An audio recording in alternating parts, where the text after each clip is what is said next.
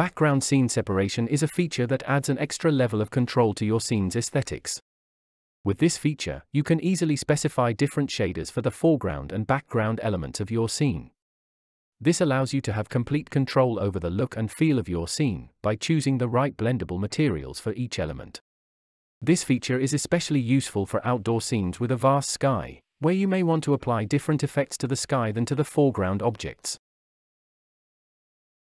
The overall blend parameter allows you to choose between applying the blendable to the entire scene, or separate out the scenes. With the overall blend set to 0, the scene blend parameter lets you choose whether to apply the post-processing effect to the foreground or the background of your scene. Alright, that's it for this video. I hope you find this insightful and hoping to see you in the next tutorials. Thank you for watching.